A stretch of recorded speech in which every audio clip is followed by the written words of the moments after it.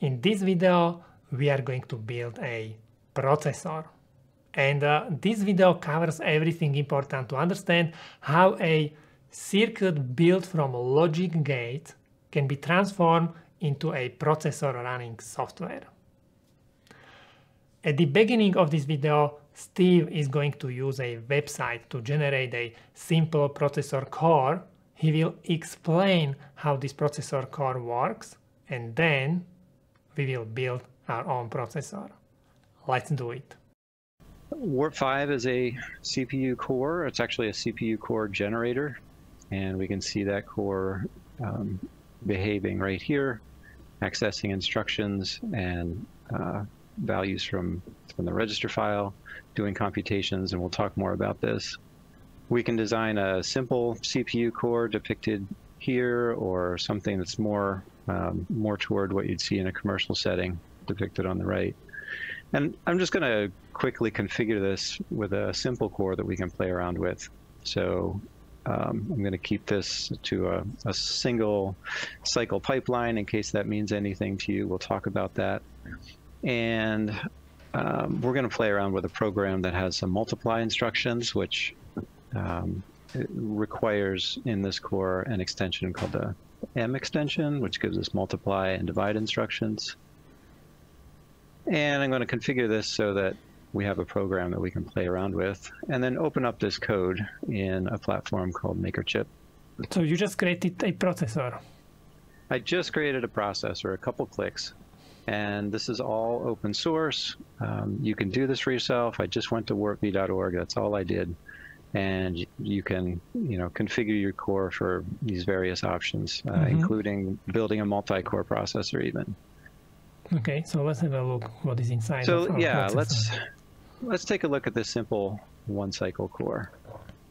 So just to get a better understanding of what a CPU is, what a CPU core does, you know, how does, what's the magic behind writing a program in a, a higher level language like Python and executing instructions on a CPU? What's that hardware actually doing? So what we're seeing here is um, the, a, CPU core, and it's got a couple um, basic components. So the CPU core needs the program memory or instruction memory. So this is the memory that's holding on to the machine instructions that the CPU is going to execute. Mm -hmm. So when you write a higher level program in, say, C++, the compiler is going to take that um, that program and compile it down into machine instructions. Mm -hmm. And those are what's depicted here. So in as far as the computer sees, these are just ones and zeros in memory. Mm-hmm. But we like to think about their actual meaning. So we think about these as okay, this instruction, first instruction here is an or of an immediate value. And what's meant by immediate is that the value is in the instruction itself in the memory. Some of these bits over here are representing this zero value. Mm-hmm. And other bits are telling us this instruction is an OR. Mm-hmm. It's operating on this X6 register and this X0 register. So this is actually um, ORing a zero value with the value in register six, uh, register zero, and putting that result in register 6 mm-hmm. And we can see that execution by stepping forward. So we have a couple cycles where the machine is getting set up. And then on this cycle, the machine is grabbing this instruction out of the instruction memory and figuring out what the instruction is. Mm-hmm. So based um, on the um, uh, 0, 1, 0, 1, 0, it knows it's going to be this ORI instruction. Exactly.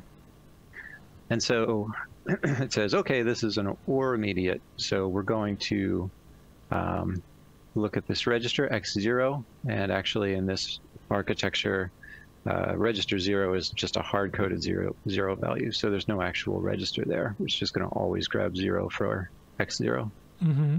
So it grabs a zero value in uh, from x zero. It uh, I'm wondering if I can make my cursor bigger, but hopefully you can see where fine. I'm pointing. It's fine. Um, and an immediate zero from the instruction itself, as I said, and it's ORing zero and zero, which obviously is producing 0 mm-hmm. So when you OR two values, the values are bit patterns. The OR is just bitwise looking at each corresponding bit pair and saying, um, doing an OR operation, which is going to uh, assert the resulting bit if either of the input bits is mm-hmm. non-zero. Is okay, so I have, I have so question. I get a zero. So this mm-hmm. is just one bit operation, correct? This is actually it's a bitwise operation, meaning it's doing an operation on every bit individually. Okay, but uh, um, and the ah, okay, case, I see there are uh, the registers zeros. are integer. It means uh, what mm-hmm. they will be like 8-bit registers or. So here, these are actually 32-bit values 32. being okay. loaded. Um, I think these are represented in hexadecimal, but we'll see later. It might be decimal. Over here, I know they're decimal. Okay. And what we're looking at in memory is hexadecimal. So okay, what are those, the what are registers? Know, yeah, so registers are just uh, storage locations for values that are close to the processor. Mm-hmm. So we can access these values quickly because it's a relatively small storage of values. Mm-hmm. Okay, and so then after we, you know, after we do some computation on these registers and we're done with that computation, but we want to remember it, we'll store that result in the data memory, mm-hmm. which is larger and more distant. Okay, so we basically we use registers because it's it's for example easier to use them in the instructions or access these registers in the instructions. Mm-hmm. Yeah, and you know if you think about the instruction encoding itself, you've got this bit pattern telling you what to operate on. To access main memory, it, you main memory is large. You probably need 64 bits of um, of value to access into memory. Mm-hmm. The register file is small, it's 32 entries. You need five bits to access into 32 values. But so uh, registers fit... are also basically memory, correct? Uh, just very small memory. They are. It's just smaller and closer to the CPU. Okay. So what is C, uh, CSRS? Ah, so CSRs are stands for control and status registers. So these are also registers. They're special registers, and we're not going to focus too much on those. Um, here we have things like uh, the machine is keeping track of time for us. It's keeping track of cycle count. Um, but here we're not worried about those special purpose registers. Okay, I think there is also uh, like. Uh how is it called? PC is the yeah the PC um, represented here by this hand. Okay. so this is showing us the instruction that we're fetching. Okay. And so can we explain let me just what step PC through. means? Yeah, PC is program counter. So that's uh, it's also called um, instruction pointer. Same thing, IP or PC, and it's just pointing to the instruction that the, the CPU is going to execute. Mm-hmm. To so the line before we, we talk, are executing. Okay. Yeah. Um, so before we talk about specifically the operation of every instruction, let me just give you an overview of the operation here by stepping through. Okay. And you'll see that this program counter over here is stepping one mm-hmm. instruction each time. It's fetching it to decode it, execute it, grabbing values from the registers. So just stepping through one by one, grabbing mm-hmm. instructions, decoding them, executing them. And you compose these instructions to do something meaningful. Um, here we're at an instruction called bran uh, a branch instruction. This is a branch less than, so it's doing a comparison of two register values, and if one is less than the other, it's going to branch. And we're using that to create a loop. So mm -hmm. if I mm-hmm. step forward, we see that the program counter jumped back up here, which mm -hmm. is where mm-hmm. the branch pointed us. And we're in a loop now, and if I just keep executing, we're stepping through that loop. And we just mm -hmm. keep going through that loop until we've completed it, and then we'll fall through the branch and execute these remaining instructions. What is LW? Oh, LW yeah. is load word. So this is a load instruction. So that's that's uh, instruction which works with data memory. Yeah, yeah. Mm -hmm. um, there's also a store here. Mm -hmm. okay. um, so let me explain what this program's doing. Okay. So we loaded up this core and checked the box over here that said, let me work with a custom instruction, a custom program. So oh. this is the oh. program. Okay, so this is the program which we uh, specified when we were creating the processor. Yeah, so this is really interesting. The um, so this environment is not only building us the CPU core hardware, it also kind of built in has a, what's called an assembler. So the assembler is responsible from, for taking these instructions that are human readable and turning them into the bit patterns. Mm-hmm.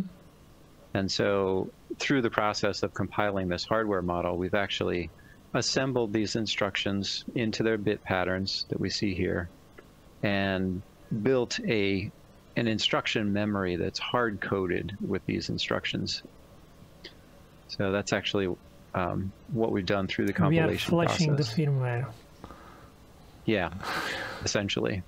Um, and there, there's no actual flashing going on. It's it's more like here we're we're building the hardware with the bits hard coded. We're actually building the the bits into the hardware Yeah, model. the software, So- the, the firmware is actually like it's just built, built into from the, the, gates, gates, and essentially. everything. Yeah. So, you know, this is not what we would realistically do if we're building a CPU. We would actually be building a path to uh, flash the the program, uh, you know, through some external uh, storage into the, you know.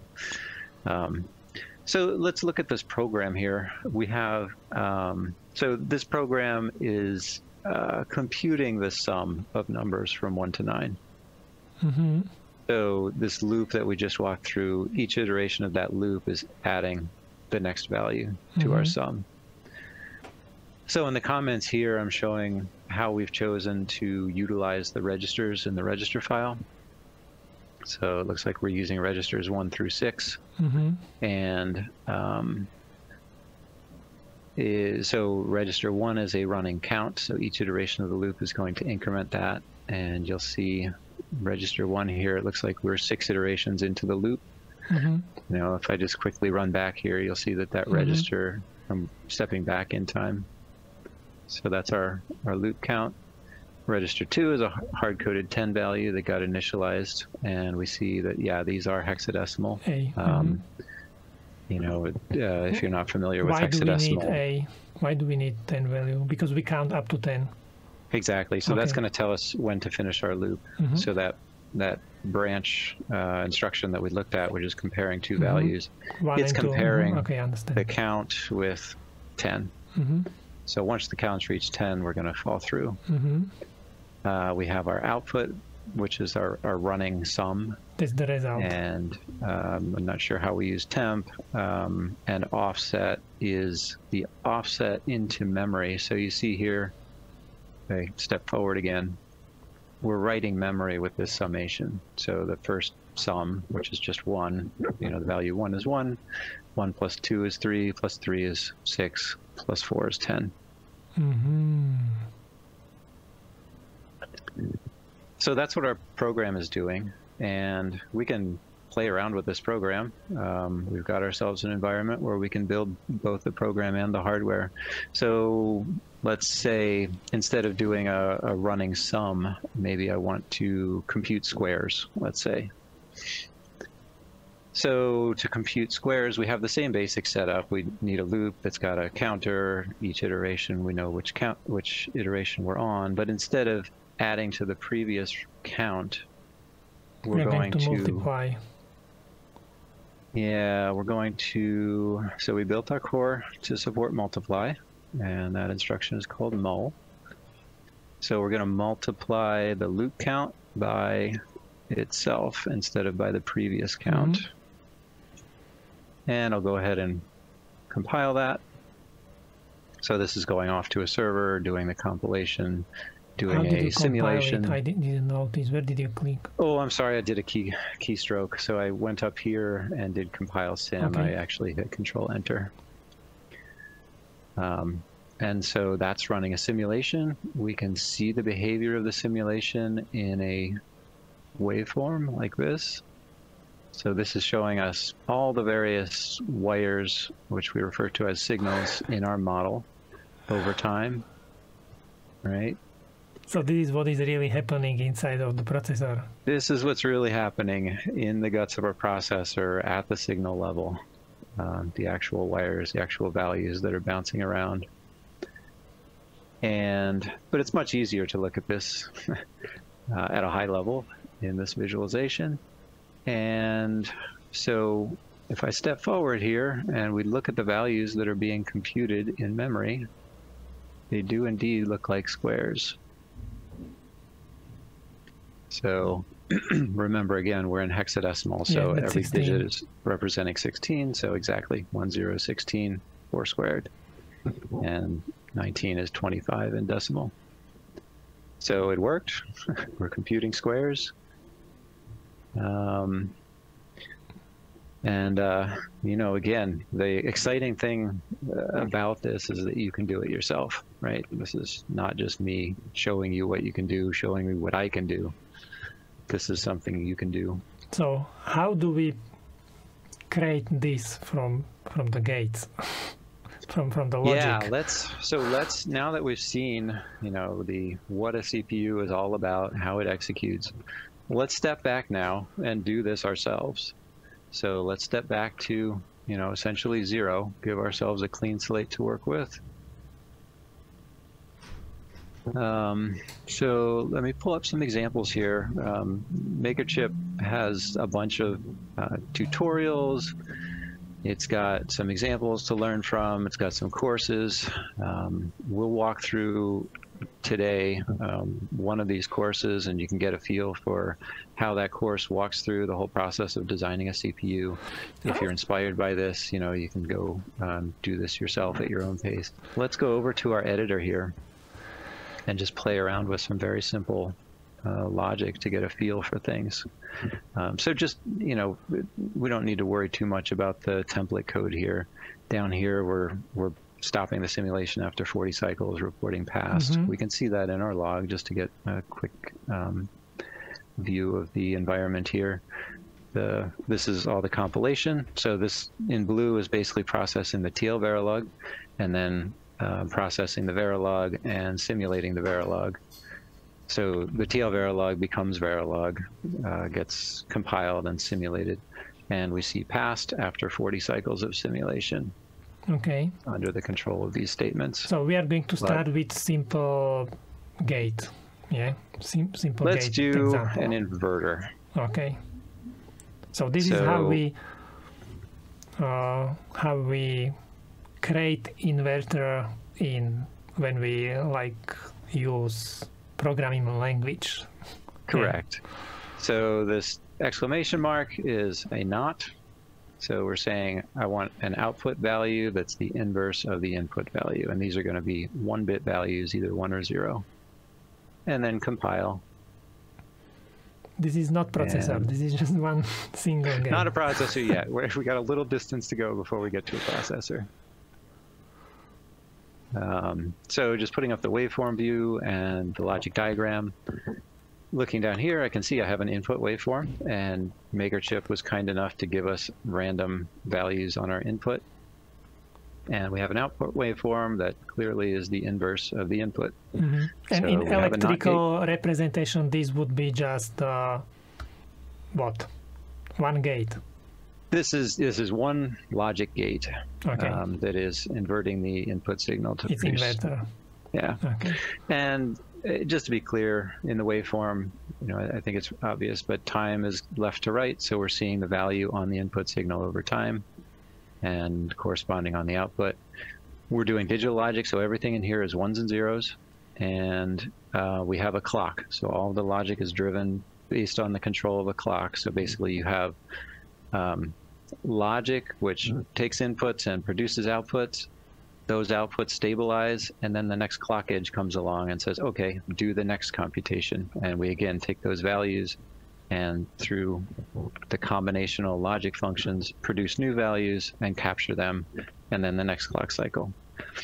Um, let's uh, let's do another logic gate here. So let's do in one and in two.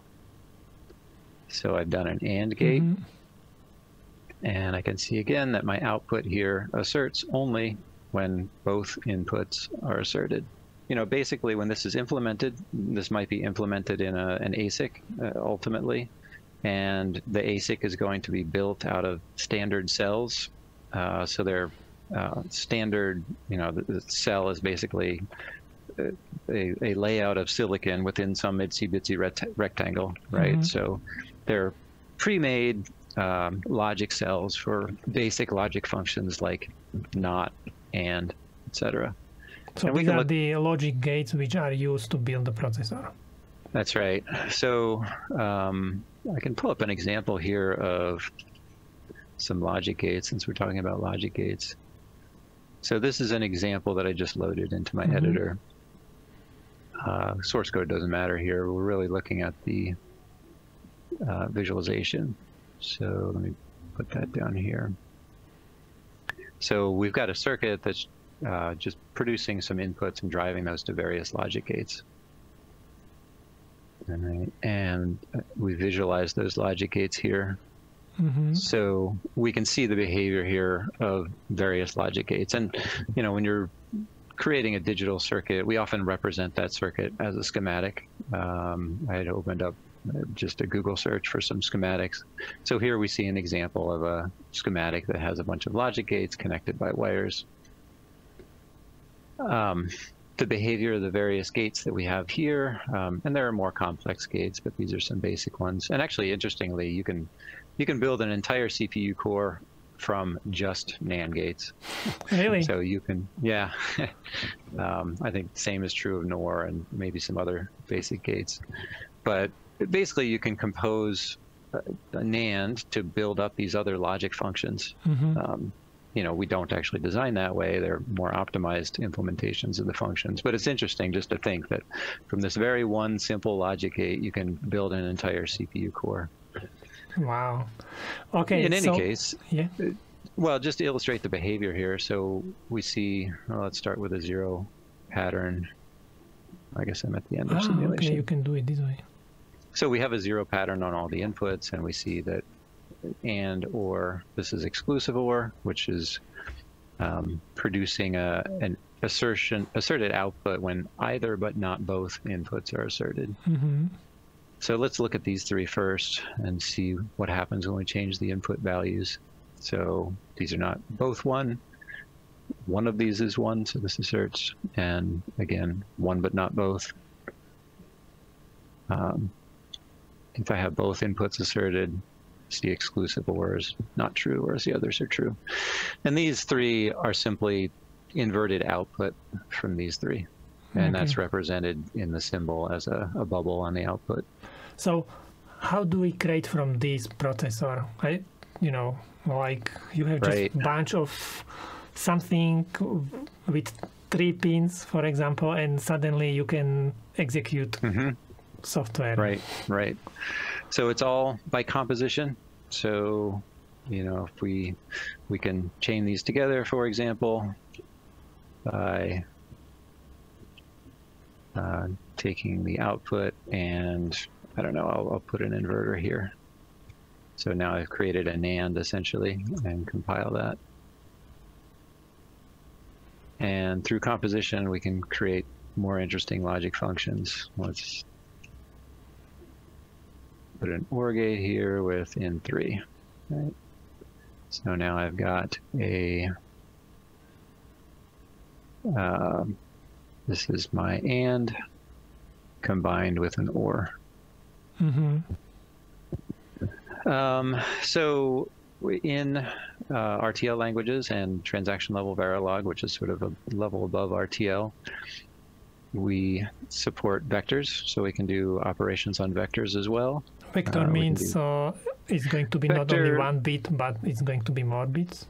Exactly. So let's do operations on a byte, seven bits. We can take an input that is also uh, eight bits, sorry. So this is basically same circuit, but eight times in parallel. Yeah, so this one, I'll do an adder. And then we zoom in. These are, again, in hexadecimal. So let's find some values here that are uh, easy to look at. So small values. I got a lot of big values here. Um, okay, here are two sixes added together. So 6 plus 6 is 12, which in hexadecimal mm -hmm. is mm-hmm. C. So this is like real addition. This is not like bit uh, or or something like that. This is real addition to Yes. real two numbers are really like added Right. together. So this is giving you a slight abstraction. You know, add is a very well-known composition of logic gates. Uh, we can uh, just Google. Uh, these are built out of full adders, so we can uh, Google full adder, and this combination of logic gates implements one bit of addition, Mhm. and then the result of that one bit addition has a carry. That carry goes into the next addition. Mhm. So, so it would basically, be chain. cascade or something like that. Yes, exactly. Um, and there are, you know, various optimized circuit level implementations of that and so on. Mhm. So Um, basically, when you created this one line, you actually use bunch of Right. gates which are connected together. Right. And it's up to a, a tool known as a logic synthesis tool to take this higher level description of your, your circuit behavior and implement the gates behind it and come okay. up with the circuit okay. level. I have next question. So Yeah. how do we go from addition to executing program? Yeah. Yeah. So one of the key steps here, which we haven't talked about much, is the clock.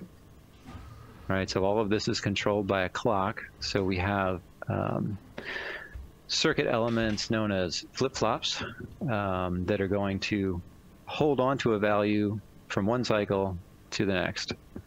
And let me just code up a, a simple flip flop here. So we have an input that's driven by a random value, and we have an output that is the previous value of the input. And don't worry too much about the syntax here, but you can read this as previous. Okay. So here we can see that indeed the output is the previous value of the input After So one clock. after one clock. So, you know, this value here gets captured on the uh, and on the clock edge allowed to propagate to the output. Mhm. So we've got this input signal. This square here is a flip-flop. Uh, specifically, it's a D flip-flop, which just takes the input to the output, uh, connected up to the output. So it is like and- uh, one memory cell. Yeah. So the flip-flop is the gatekeeper saying, oh, wait, wait, wait. Okay, clock edge, you can go forward. Mhm. and I had pulled this up uh, logic level. So here's uh, again a Google search of a D flip flop. So you see that you can implement these using logic gates. And the key here that introduces time is that you've got, um, first of all, this feedback path here that's stabilizing the value in the circuit. And you've got a clock input that is used to allow the D input value to propagate through so not talking about the specifics of, uh, you know, these gate functions, but the basics here is that you've got the clock that's preventing the value D from propagating forward until the clock pulses, Mhm. and that's able to, uh, you know, hold on to the value until that clock edge and give us this behavior that allows us to take values from one clock cycle and use them in the next cycle. Why do we need this? So this is needed because um, essentially to give us the behavior that we saw in that CPU simulation where uh, first, so in the CPU that we were looking at, we were computing an entire execution of one instruction each clock cycle. So we would get the instruction from the instruction memory through combinational logic, which is all built out of logic gates. We would figure out what that instruction was and decide what to uh, operate on from the register file and write back to memory, or write back to the register file or memory.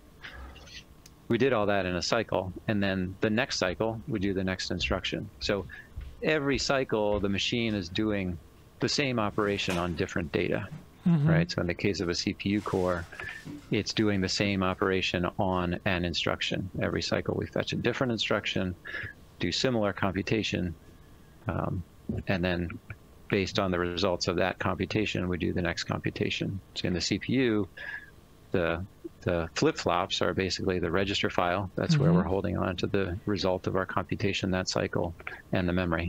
Mhm. Okay, so we need these flip flops to create the register files, which we then use when we are executing the uh, instruction. Precisely. Yeah. Okay, and uh, execute executing in instruction is basically using, for example, this plus or and or something, or it depends basically what we are doing, what kind of instruction yeah, we are executing. Right. Let's get into that. Um, so let's see how we, using uh, TL Verilog, describe this circuit behavior so that we can execute instructions in a CPU core.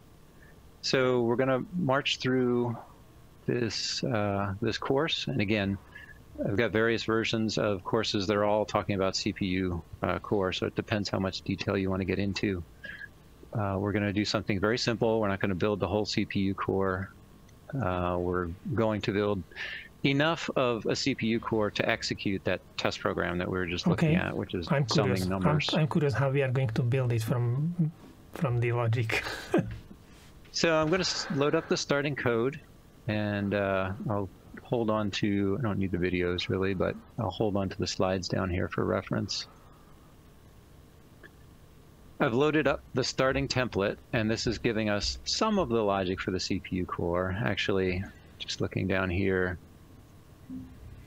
basically, this is what we're going to build, it's similar to the picture that we looked at um, previously. So the CPU core is built out of uh, these components. Let me walk through them uh, very quickly. Okay. So you've got your program counter logic, which is figuring out the the instruction that we want to execute.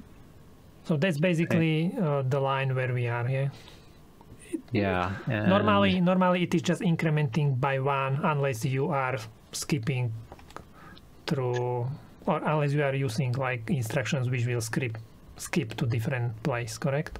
Correct. Yeah. So branch instructions, or there's also jump instructions.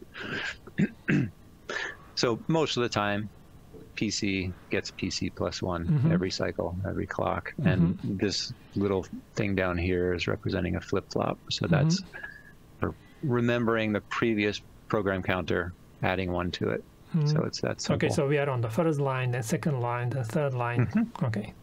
And then we take that program counter and that becomes our index into the instruction memory to grab mm-hmm. our instruction. We give that instruction to the decode logic of the processor mm-hmm. that's responsible for figuring out what is this instruction? What am I supposed to be doing with okay. it? What registers do I need to access?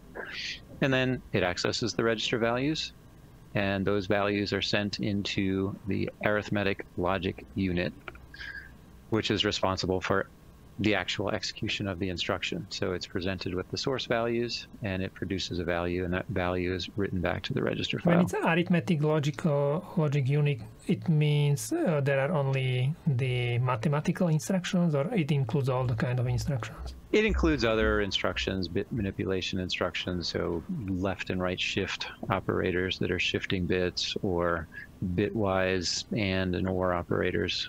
And um, memory operations. So memory operations that might involve the arithmetic logic unit to compute the address that's used for the memory operation, for example. But uh, the actual, the arithmetic logic unit, what's fundamental about it is that it's taking generally two values from the register file mm-hmm. and okay. producing so a value. So it's working with register, not with data right back memory. to the register file. Mm-hmm. Yeah, and that's this would be considered a load store architecture, okay. meaning you've got special instructions for doing loads and stores that interface with memory. Everything else is operating out of the arithmetic logic unit. Okay, and but that would make file. our processor much more complicated, I guess. Mm-hmm. Yeah, and here our program, uh, this program that we're basically implementing our subset processor for doesn't do any loads and stores. It's okay. executing purely out of the register file just to keep things simple. Okay, so here on the right side, we can see basically uh, there are the registers what mm-hmm. we what we are going to use or maybe what we yeah yeah this is similar to the visualization that we saw for WARP mm-hmm. V it's just a little simpler only because this course was put together before that visualization was created uh, but same thing uh, you've got the register file the decode logic and execution okay. and program memory okay. and this logic that we're starting with gives us the pieces that are in blue here. So it's giving us a program counter that increments by one. Okay, so we don't have to program this. Not the plus one part, but okay. we will program the branch part. Okay. uh, it's giving us an instruction memory and a register file. Instruction memory, it means that's the hard-coded software? It's giving us, yes, the hard-coded software, okay. right?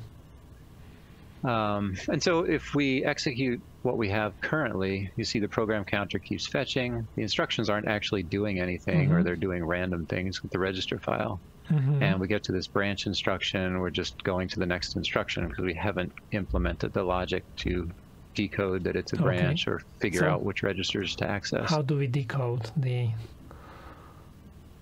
so I'm just going to walk through basically mm -hmm. uh, bit by bit these different pieces. So let's look at uh, the program counter. Um, we're not going to code it, but just to understand what's in it. Uh, so, and you know, there's a lot of syntax represented here. Don't worry too much about the syntax. We'll see the syntax as we go. But just to read what this means, if we're in reset, set the program counter to 0 mm-hmm. That starts us off okay. with the first instruction. Otherwise, if we're a taken branch, then go to the branch target. So this logic is in the PC. We're not yet assigning the branch target or the uh, branch taken branch or the branch target.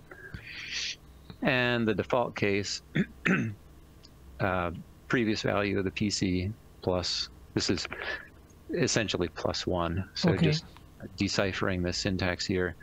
This is a 32-bit binary 100, which is 4. And the way this microarchitecture works, the program counter is a byte address, and instructions are 32 bits. So instruction addresses are multiples of 4. So the plus 1 is basically a plus 4 bytes. So that's uh, our, our, yeah. Okay. I understand, because uh, if we would be counting by one, then we would kind of jump into half of the command or half of the instruction, mm-hmm. but we would mm-hmm. like to actually jump to the next instruction.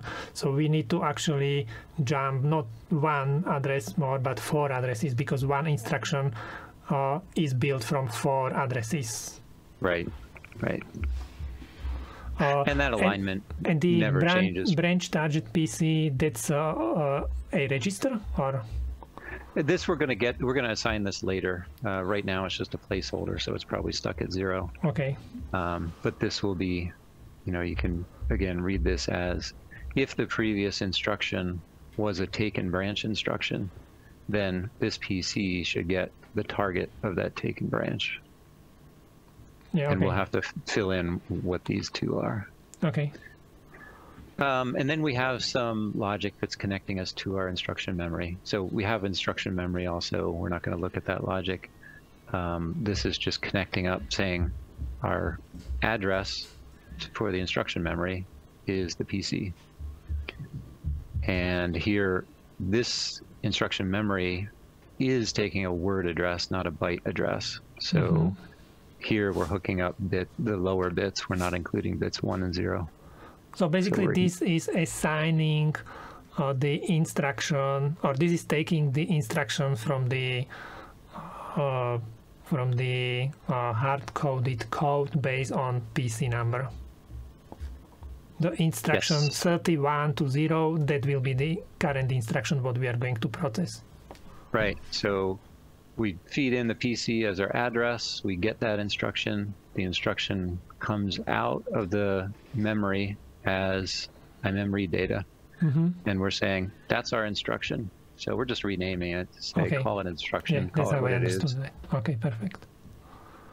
So now we'll get to our first bit of the lab So exercise. the instruction is how many bits? Go go a little bit. The instruction is 32 bits. Yep. Uh, uh, but I mean the um, command itself, the add, for example not whole instruction because part of the instructions are the uh, register references. Oh, oh sure. Um, so I think I had this open. Yeah, there we go. Um, that's not the right thing. Actually, I have this down here in the slides as well. So let's look at what's actually in the instruction. Uh, so this table is showing us the makeup of the instruction. So these would be the 32 bits that are coming out of the mm -hmm. instruction memory, the instruction bits. So the instruction is made up of an opcode, which tells you, um, generally this is telling you what the instruction is, although it might not be the full breakdown, um, but it would certainly tell you this is a, a probably an add instruction or Mhm. a, okay, and you uh, only need least- two bits. Is, is it enough? six. This is this is seven bits. Oh yeah, okay, okay, I understand now. Sorry. Um, actually, the lower two aren't used for the most part. Um, but anyway, so basically it's a five-bit uh, opcode. So and based on this code, uh, we will recognize Yes. if it's eight or if it's uh, BLT or if it's something else. Mm -hmm. Okay. Yeah, and part of what the opcode, some of the opcode bits here are going to break down the instruction based on the format of the instruction. So we're looking at different instruction types here. You've got R type, which operates on two source registers. You've got I type for immediate type, which operates on a source register Mhm. and some immediate bits in the instruction. This opcode is it Um, there a standard or something? Yeah, so this is, uh, we're using the RISC-V instruction set. And, you know, you, you very likely have heard about RISC-V. It's got a lot of buzz. And basically the buzz is, is the fact that it's an open standard. So in the past, most instruction set architectures have, ha- have been proprietary. Um, and that's been an obstacle for academia to explore, you know, CPU design in the context of those Everyone basically sets. had to design these instructions by themselves. hmm hmm And now we have an open standard that's, uh, you know, free of entanglements, Okay. and that's very exciting for the, the Is it- ecosystem. can, can we search for this kind of document? I'm just curious. What, so if uh, someone would like to build based on this, Yeah, the so riscv.org is the site for all things RISC-V. Um, and you know, there's lots of good things here. Actually, uh, let me see. I think they've restructured things a little bit, but we should have. Uh, yeah, they've changed things around, so I'm not sure how to navigate. But oh, here it is, cores. I was just going to show that the WARP-V core that we just looked at is one of the cores that you can find in the RISC-V exchange. And they've got, you know, it's such a popular instruction set architecture that there are probably hundreds or at least over a hundred different cores that folks have submitted that implement RISC-V. okay, okay. So uh, if someone would like to know exactly uh, specification of these instructions, they can find it here. Yeah, the specification is under technical specifications, and uh, the unprivileged specification is the starting point. Um, and then supporting operating systems and so on, you need the privileged instructions as well. But this would be your starting point. Okay. Um, so yeah, so you have, based on the opcode, different instruction types. This is the format for branch type. Um, it looks similar to uh, kind of a combination of the other two, I guess. It's got two source registers, and the immediate bits are specifying the offset for your your branch. So if you need to branch eight instructions backwards, like our loop is doing, this immediate field would be negative eight. Okay, and we will use this table to decode the in- instruction. That's right. Yep. Yeah, and I've set this up to be, you know, as simple as possible just so you can get a taste. The test program that we're executing, you can see it's only using three different instructions. Mhm. So really, all we need to implement for our CPU core is add, add immediate, and branch Mhm. if less than. So first step here is decoding the instruction type. So it's exactly what we were just talking about. You get the opcode, and based on the opcode, you need to know which of these formats your instruction is So in. these are the bits of five and six. bits five and six. So uh, where's my table? Here, I have a table that's telling me exactly that breakdown. So we have uh, the instruction bits two to six, as we Mhm. mentioned, are the opcode bits, and based on uh, on those bits, we have different instruction formats. Mhm. So since we only need to worry about I type, R type, and B type, we can simplify the decode a little bit. The I type is always cases where bits six and five are 0 Mhm. So bits six and five are 0 Mhm. and we have an I type instruction. So I'll just go ahead and fill in. And again, you know, I, I, encourage you to do this, um, you know, as I'm doing it or after following the course and so on. But, uh, you know, we have R type, which if we look in our table, zero, we can decode one, that exactly. So zero, one, four, and let's just copy this. One, zero. And then similarly for B type. Hmm. And if if we have a if we think about this code like uh, in terms of mm-hmm. logic, in terms of gates, physical gates, then this would be like making connections between different ANDs and ORs, and and the result will be this is the instruction, correct? Right, right. Yeah, and again, that's up to logic synthesis tools. We don't generally, you know, as logic designers work at that level. Mm-hmm. Tools are very good at optimizing our logic from RTL. Mm-hmm. So I've compiled this, um, and actually, I don't think we're going to see anything noticeably different in the behavior yet. Because so we still need to uh, specify the specific instruction, correct? Yeah, we figured out the, the type, but we haven't really done anything with it that will visibly change the behavior. So um, actually, I'm going to skip the immediate code and get back to that immediate decode and decode the instructions I think it's more natural to do that first. So this gets us to this picture again where we have our instruction formats. Mm-hmm. And um, the so one of the the world has come to realize that simpler is better when it comes to CPU design, and that's what RISC processors are all about: reduced instruction set computing. So keep the the number of instructions to a minimum, keep the formats of the instructions to a minimum. If you look at uh, CISC, which is the counterpart to RISC, complex instruction set computing, like x86, you have many more instruction types. The instructions are variable width, so um, you know really? yep. that makes it more complicated to decode the instructions. It does. Then. Exactly, and uh, so we've we've come to like simple. so all of our instructions here are 32 bits wide. Um, and so, and if you look at the fields, you know, the big difference is that uh, the register, the source register two, for example, is always coming from the same place in the mm-hmm, instruction. Mm-hmm.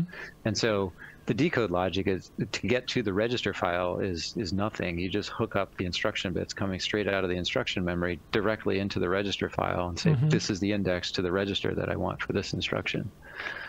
Um, so, so is it, it also helping with speed? Yeah, yeah, definitely. Because the the path is shorter. Mm-hmm. It doesn't have to go through so many gates, for right. example. Right, exactly. So I've started this by hooking up the RS2 field that we were just talking about. So RS2 always comes from bits 42 down to 20. Mm-hmm. And we can hook up the others here. So uh, RS1, thank you. And Func3 14, 12 is 14 to 12.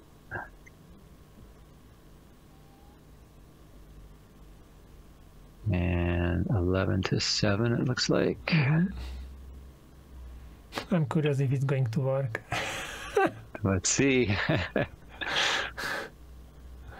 Yeah, it's actually good if I make a mistake because then you get to see how do you deal with mistakes and debug your design. Um, that's where you spend most of your time, right? But let's compile this. And uh, but it still will be doing basically nothing. It only recognizes the, the type.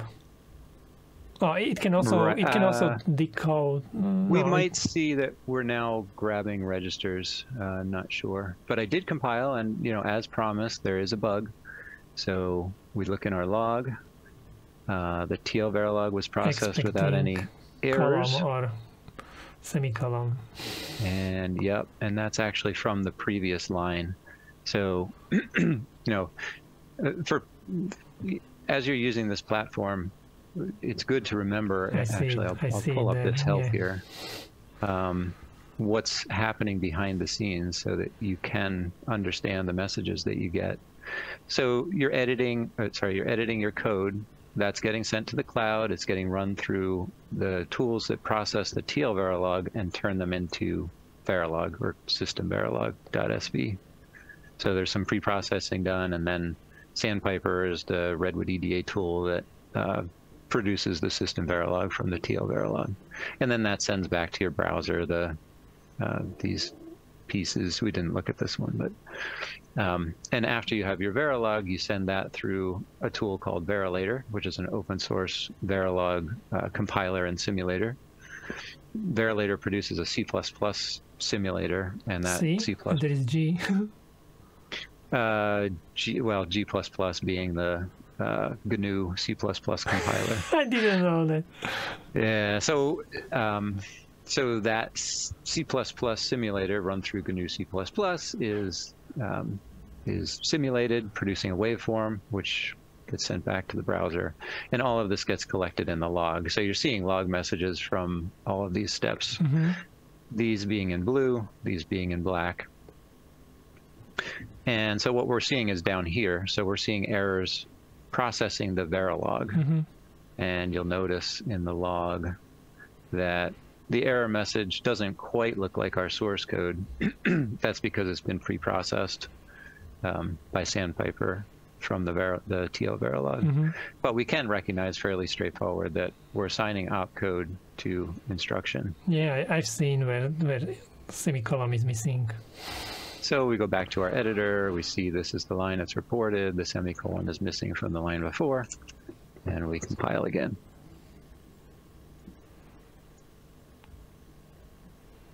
So let's see if our behavior is any different yet. We're going to step through, and I think what I would expect to maybe see is that we're starting to access the register file. And we do. There's R10. We're correctly identifying R10 from the Mhm. instruction. So yeah, Okay. R13. So our CPU is getting a little bit better. That's good. And now I'm going to jump back to the immediate decode. So you see here, some of these instruction formats have immediate bits. So this is the And- uh, fixed. Uh, this is the value which we can directly uh, write in the code. Correct. Yep. So this would be, you know, the add immediate instruction over here as uh, R13 as a source register and a value of one. So this one is the immediate Mhm. field. For a branch So R13 plus one. right?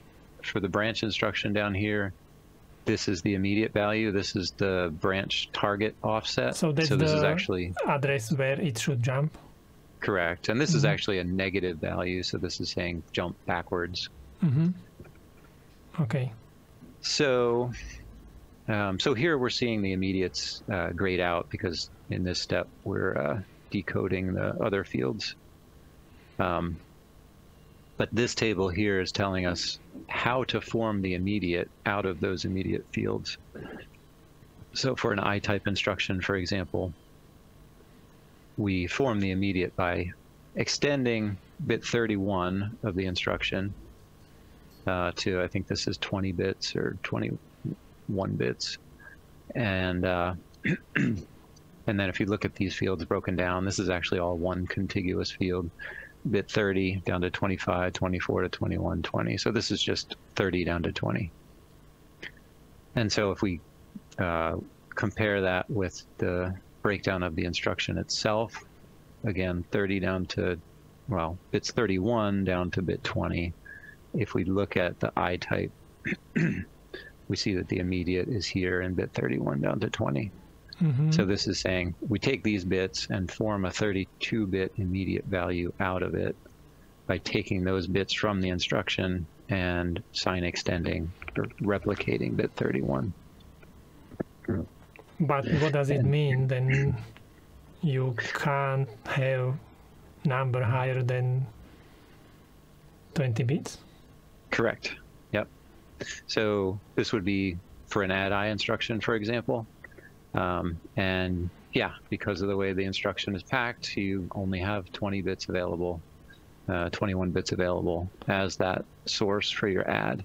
So if you did need to do an add of a constant value that was larger than 20 bits, you would use other instructions to to load immediate bits into all 31 bits of a register and then do an add instruction using that register. So why they uh, write here the other instructions into bits 0 to 10 if we if we don't really use it because there will be the code of the instruction no so here we have the, just to go over it one more time, I think this will help. So this is the immediate instruction with yeah, the immediate bits. This. Okay.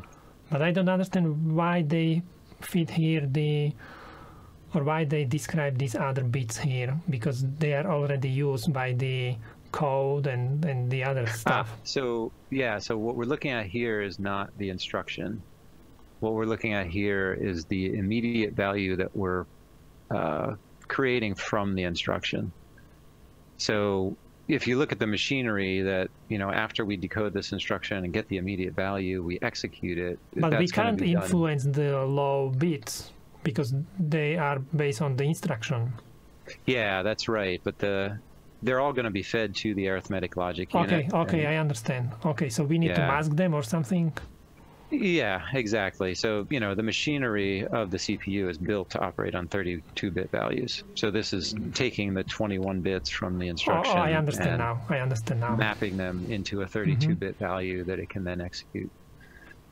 So, so theoretically, theoretically they will be transferred, but we would like to not use them because we can't really mm-hmm. control what is inside of yeah them. we have to drive something to the arithmetic logic unit mm-hmm. okay i understand now so we're just going to take that upper 31 bit and that's what we're driving to the arithmetic logic unit for this instruction mm-hmm. so here's where we're forming that um, the immediate value and so the 32-bit immediate um, we're going to form this for all instruction types that's mm-hmm. sort of the way the instruction set architecture is mm-hmm. specified. Okay. Based on the instruction type, we're going to grab different bits. So um, I didn't explain this syntax here. This is uh, similar to C or JavaScript. It uses the same uh, syntax. This is a ternary operator that says if if this condition is true, so if this is an I-type instruction, mm-hmm. then this value. Otherwise, this value, and you can chain them together then to, um, you know, just like we did with the program counter to say, if it's reset, then this, otherwise this, otherwise mm-hmm. uh, PC plus one. So same thing here. So let's fill this in for B type. If we have a B type instruction, and this is a really strange syntax from Verilog for replication uh, well, both replication and concatenation of bits. So in uh, we should look at this one first. Yeah, so I'm just thinking, a, what does it mean? it's it's a mess of these open braces and closed braces. So there's actually two different operators here, which makes it confusing. This oper this is a replication, so this is expanding the 31 bit 31 to 21 copies. So this is a vector of 21 copies of instruction bit 31. And then the the square the uh, brace with commas is concatenation of bits. So this is a concatenation of 21 replicas of bit 31 and bits 30 down to zero the to 20. And that matches up with replicate bit 31, concatenate bit 30 down to 20. We're forming this vector. So we're, we're taking bits 30 down to 20 of the instruction and placing them into bits 0 to 10. And so now for the B type, we can do the same kind of thing. We need to replicate bit 31. I think this would be, if I got that right, 20 bits now of instruction 31 and concatenate that with bit 7.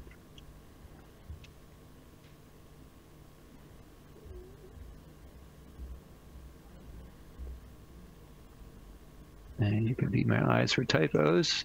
Instruction. Uh, what's next? 30 to 25. I'm not quite sure why in the table they actually break these down when they're contiguous, but um, where we have 11 to 8. And and then a one bit zero. So in um, in Verilog, that's sorry, a one bit binary zero value. Okay, so that should be our expression. Okay. Let's compile and see if I actually did that right. So you just manipulated the bits in the correct order into the 31 bit. Well, I attempted to anyway, but there is an error here. uh, okay, inst, that was just a typo. Should be inster. And where do I have? Oh, I am missing the semicolon or the colon.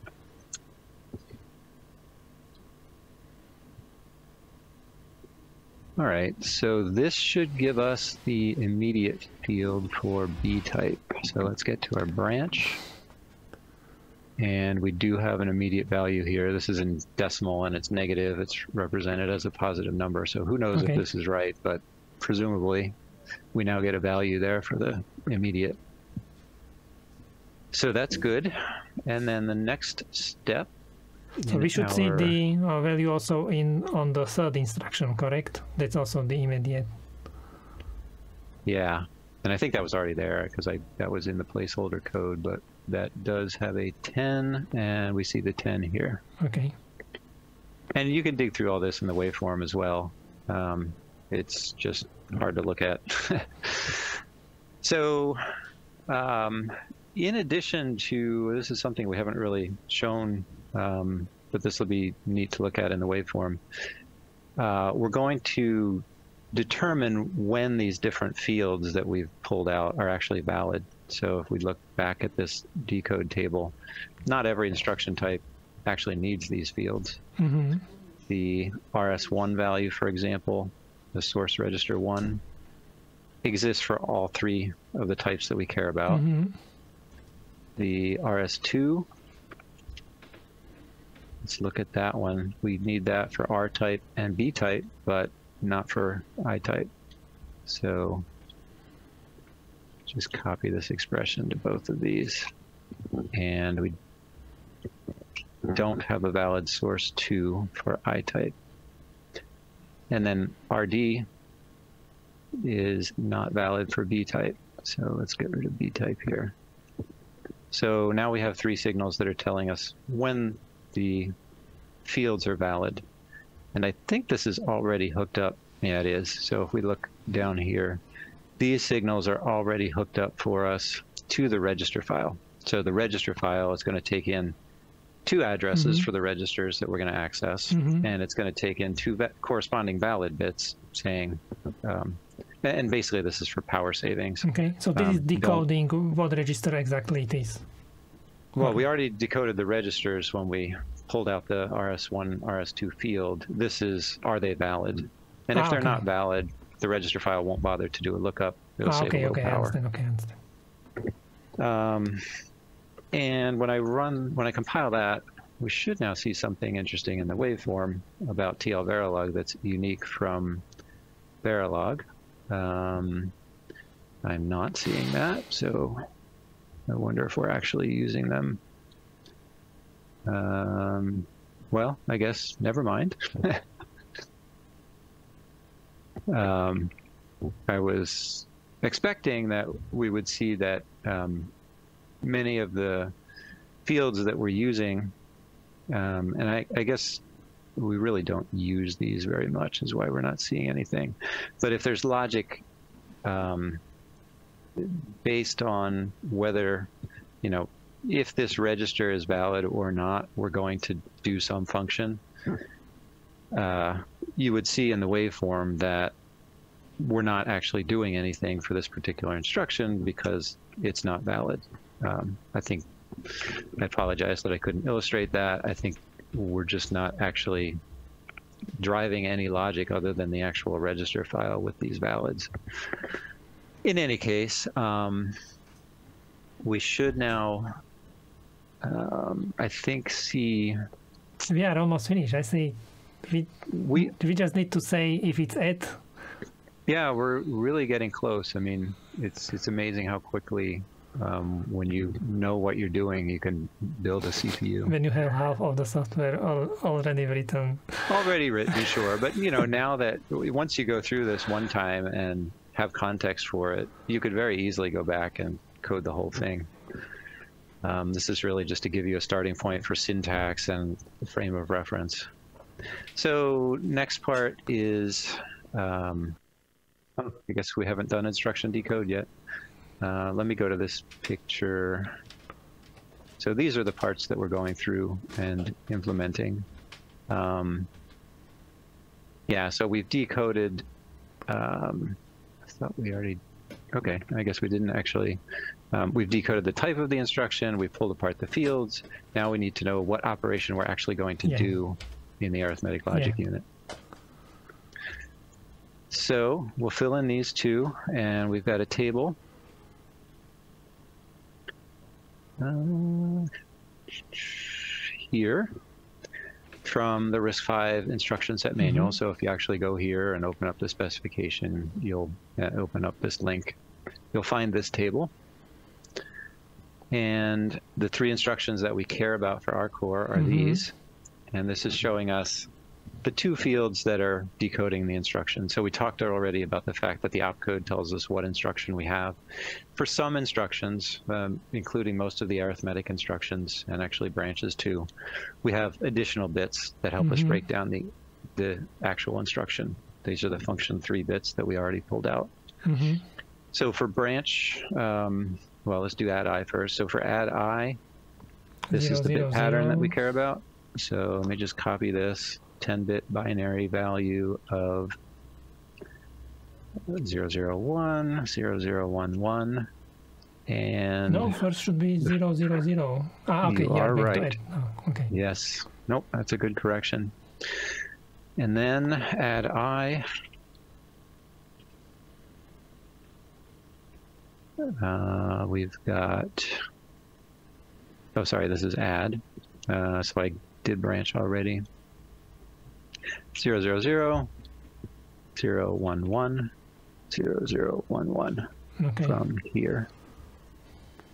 And we compile that, and now we should have um, add decoded. So before we did not have add i decoded.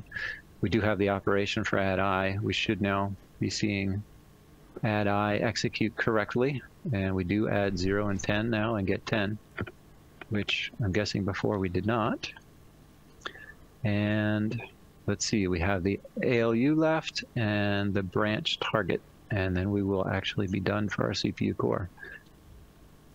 So now that we know if we have an add instruction, we can execute it and add should add the source value from the register and the source value from the other register.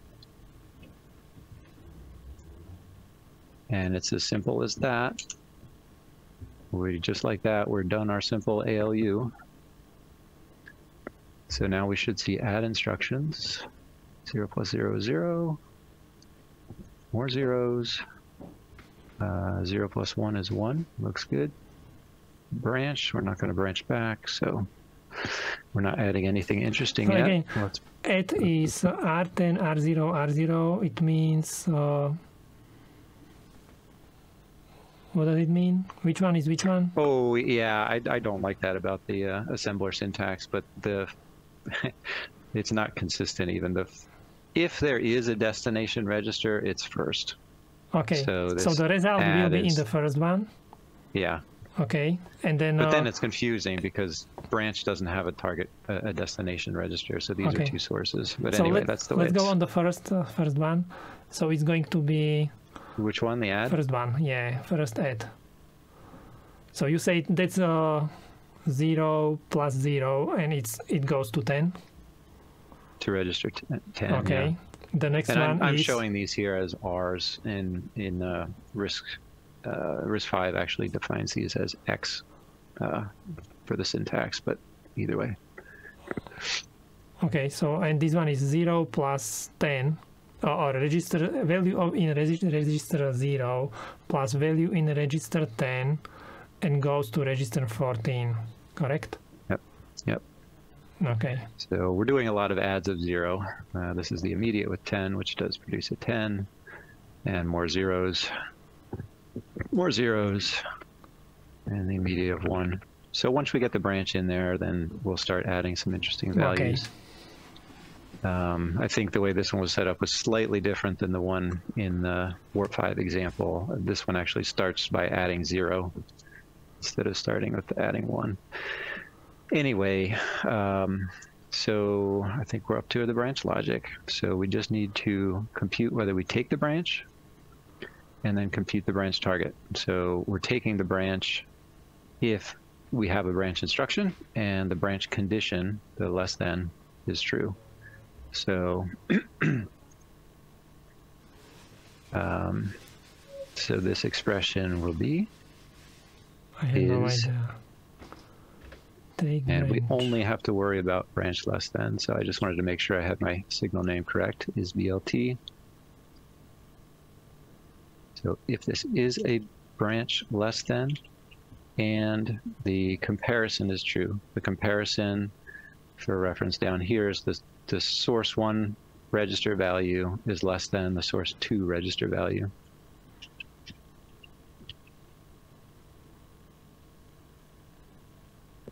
So it should be that simple.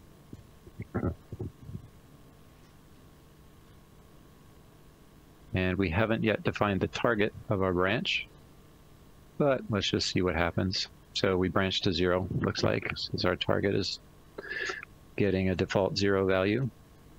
So our branch target now is computed based Well, on why did we create it, the previous line? I, I don't know what is it doing. Wh- which why did we create which? Taken branch, the previous line. Oh, so this is controlling our program counter. If we go back up to program counter, right? If we have a taken branch ah, instruction, okay, so it is just uh, true or false. yeah, It, it's Yeah. saying like uh, this is the branch instruction. it's the branch instruction, So and we are is- going to we are supposed to take it. yeah we are going branch. to uh, take the PC and uh, do what is it like plus of the mhm, because it's negative yeah, and we're, we're actually going to do this um, in our branch target calculation. so Okay, this is okay, going to okay, be okay. program counter plus offset. Okay. And because it's So we'll negative do value, it will actually decrease the Yeah. program counter. Yeah, that's right. So we're computing the branch target, which is the PC plus the immediate, and this is a signed immediate, so it's uh, plus or minus. Um, so branch target PC. Oh, sorry. Uh, that's already here and named a little bit differently for no apparent reason. But program counter plus the immediate value, which gives us our offset. And, you know, um, binary signed values sort of magically work whether you treat them as signed or unsigned. We're interpreting them as unsigned here for the um, the PC offset. Basically, when you're adding them in a an unsigned sense, the signed number or the if you have a number like we have here, which is uh, minus four instructions or something like that, this value here, the string of ones, zero, zero, that's a minus four in binary. If you interpret that as a signed number, it's a huge value, and it wraps around in this uh, binary space to get you to this minus four. So it just sort of magically works to ignore the fact that this is signed yeah, I know. I, we computation. learned this at the university that it actually works. Mhm. Yeah. Um, so this should work. I think it's that's all it is, just PC plus the immediate. So let's see. Branch, and we did branch. I was expecting it to be one instruction less, but um, let's see if that's our proper target. Uh, here's our loop, just these two add instructions. So that is indeed the top of our loop, and we seem to be doing the right thing. So let's step forward and see if we're actually incrementing correctly. And we're using different registers than we did with the WARP-V, but they're doing the same thing. So one of these is the running sum. That's probably the 6. And then one of these is the count, which is probably this R13, the 3 here. So we should see as we continue to loop that this running count keeps incrementing. And so we've gone from, step back here, um, counting up to four. We have our bowling pins. We have 10 bowling pins. This is fascinating. You're just executing software in in the code what we just created. and you're and all from your browser. Wow. So plus five, giving us uh, how many pool balls in a pool rack. Seems to be working great. So there we are. It's all done. This is cool. So yeah, um, you know, if you want to do more detail, so we did a, a CPU that's a, running in a single cycle. So every cycle we're fetching instruction, we're decoding, we're uh, grabbing values from the register file, we're executing the instruction, writing back to the register file. In reality, that's a really tall order for one cycle. That's, so that's, you might do that something. That would be really slow, correct? It would, and you know, it's not unrealistic for something like a microcontroller in a, uh, I don't know, a, a, a, little edge sensor or something like that. Um, you run at a slow clock, and doing it all in a cycle might be perfectly fine. But if you're talking about a general purpose computer running, you know, in a, like a, running on your desktop or whatnot, those generally um, and that's what I spent most of my career working on. A processor like that takes about maybe 20 cycles to fetch the instruction and execute it and write back the register file. Um, so you'll design a pipelined CPU core. And, uh, you know, if you want to go the next level and learn about that, this is actually, this is the magic to how we can actually teach pipeline CPU core design within a week is TL Verilog is much, much, much better at um, enabling pipeline design than Verilog. Um, so if you want to go into more detail, you can take one of these um, more complete courses. Um, I think we're running another myth workshop. So the, the first three here are free. They're online. Just jump in and do. Mm -hmm. Um, this one comes with uh, live instruction and mentorship and so on. Um, so there is a, a, cost, but it's very minimal. Um, and I think we have another one coming up soon.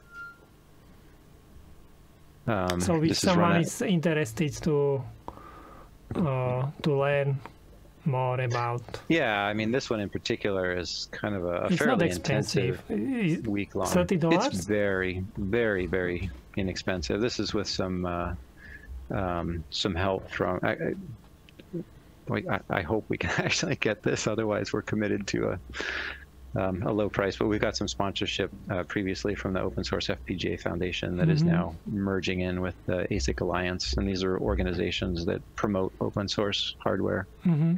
So basically, um, everything what we were talking about today, you can then upload to FPGA, or, or can, what can yeah, you do with this code what we just created? Yeah, uh, actually, let me. This is kind of fun. Um, let me just go to some an example that I put together fairly recently that's not yet in MakerChip. Um, so this is opening up a design that is built in a way that you can actually uh, compile this for an FPGA and run it on an FPGA. Basically, you just download the code that you produce from here. Um, and uh, there's a, a Git repository um, for this um, virtual FPGA environment uh, with the tool flow all based on um, accessible well, it, it's Xilinx based, so the Xilinx mm-hmm. software is proprietary software, but Xilinx does have a free download for FPGA use. So if you have any of the supported um, boards, you can download your design. So here, the design that I've loaded is actually just pulling a bunch of different examples together that I have and sticking them on an FPGA.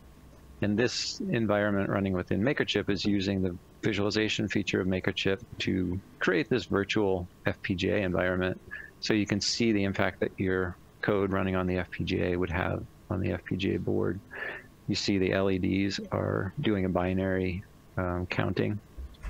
So, so you can actually bits. write your FPGA code even without the board and you can see what it will be doing if you have the board. Exactly. Yep. And how can you yeah. upload this code or, or you compile it here and you get the hex file or something and then you you use the standard Xilinx software yeah, to upload so there's, it? Uh, let's see, Virtual FPGA Lab. So this is again hosted by the Open Source FPGA Foundation. But this lab gives you the uh, scripts that you would need to take code that you develop in MakerChip. You can um, export the code by opening up the results and downloading your source code. Mm-hmm. Either the TL Verilog or the system Verilog, but um, this is set up scripts that will work with your TL Verilog as well. So you can, if you have a Xilinx FPGA with the Xilinx tools locally on your machine, you can you can actually open up MakerChip in a way that um, it's editing the code that you have locally, mm-hmm. so you don't have to do this download. Uh, this is called MakerChip app. MakerChip app.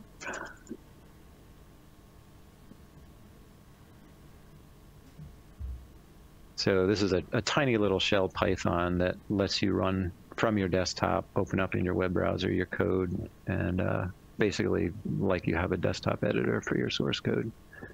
So you can use that as well instead of directly jumping to the browser. But the code that you're editing here directly will compile and run on your FPGA board. You can do like Control C, Control V. Uh, you can do that too. Wow. But you this code is in your special language, no?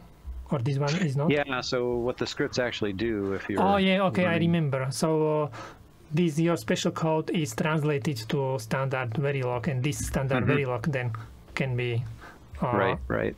Okay, compiled.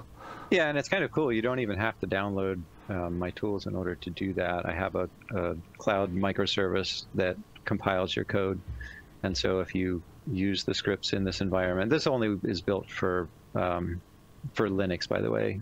Um, we don't have the automation for Windows, I believe. Mm-hmm. Um, okay. But if you have the, you know, if you have all this locally and run the scripts, they will call they will send your TL Verilog code to the cloud and return your system Verilog. Mm-hmm. So this is made for open source development. Nice. Um, yeah, so this is all possible. This example is kind of, as I said, pulling together different examples that I have so you can see um, how the components that um, that you build using TL Verilog that come with visualization are composable. You can plug them together. So this is showing all the code which you actually upload into the FPGA chip. So there is the mm-hmm. microprocessor. There, there are the gates. I don't know what is the other one. Yeah. so here we have WARP-V running in this FPGA. Mm-hmm. Um, we have a fun little frog maze that I made with my kids. We have a genome uh, sequencer, um, you know, all just sort of slapped together, but built in a way that you can run them on the FPGA. Mm-hmm. So it's you know very exciting. All this stuff is evolving. Um, you know, the examples are are going from basic basic things uh, to CPU cores to you know complex systems that you put together and flows that you can run on FPGAs. And um, I, I, would like you know, to ask, why are you mm-hmm. doing this? I find this incredibly exciting to be able to, um, you know, develop hardware through your browser. I, there's so. I, I think this is a really, really exciting time to be in this field personally. Um, I so I started my career with Digital Equipment Corporation uh, over 20 years ago, and when I went into that ecosystem, you know, I felt like, wow, this is I, am so fortunate to be able to go into the world designing the world's most advanced silicon, and right now we're we're at sort of this exciting period where for many years it's been all about CPU design, which you learned about just now, and that's exciting. But now we're at a, at a space where CPUs aren't good enough. Uh, we have different compute workloads, we have artificial intelligence workloads, we have graphics processing, we're sort of at a scale where you need hardware that's optimized to your particular application. Mm-hmm. So there's all kinds of opportunity now for different architectures and mm-hmm. you know mm-hmm. different hardware. Uh, and I think that's just extremely exciting, opening up all kinds of, of new opportunities. And um, that's everything for this video. Thank you very much to Steve for helping me to create this video. And thank you very much to you for watching. By the way, we are preparing some very interesting tutorials, so if you don't want to miss them, hit the subscribe button.